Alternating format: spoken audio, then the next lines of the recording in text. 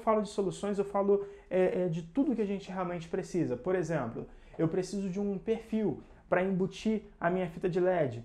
O sistema Lux ele possui. Então, por exemplo, aqui eu trouxe dois tipos de perfil. Olha, eu trouxe esse perfil aqui, tá vendo? É um perfil somente uma capa plástica com branco leitoso, olha, onde eu tenho aqui um canal para encaixar a minha fita e ele entra na pressão diretamente na chapa de MDF, que é justamente esse perfil que vocês estão vendo aqui. E o mais legal, você tem ele tanto na versão branca, para seus móveis claros, seus projetos com uma textura que vai pedir ali é, um acabamento branco, e você também tem ele nessa cor, nesse preto opaco, tá vendo? Olha, que também vai ficar bem discreto aí nas suas aplicações, tá?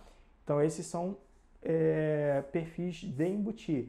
Você tem ele com a capa metálica, você também tem ele com um perfil de alumínio aqui, é, que aí já é uma outra versão, tá? Esse daqui, se você pesquisar no manual, é, na brochura Look 5, você pesquisar pelo 1102, você vai encontrar esse perfil e você